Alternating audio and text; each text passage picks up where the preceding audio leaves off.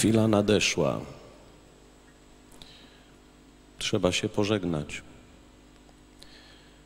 Po odlocie ptaków nagły odlot zieleni.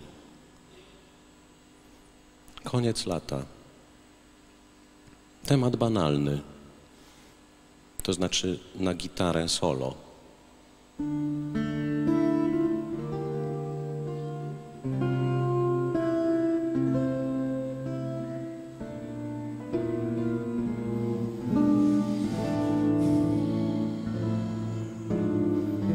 Mieszkam teraz na stoku wzgórza.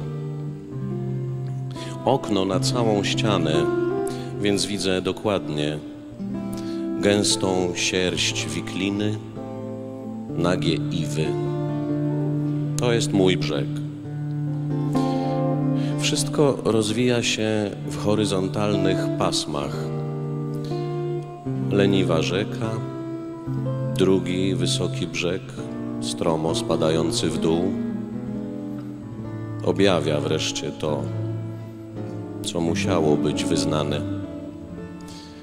Glina, piasek, wapienne skały, płaty czarnoziemu i wątły teraz las, opłakujący las.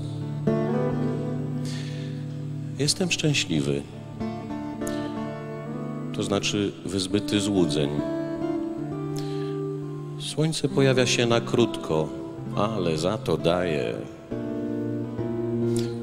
spektakle wspaniałych zachodów. Trochę w guście Nerona. Jestem spokojny. Trzeba się pożegnać. Nasze ciała przybrały kolor ziemi.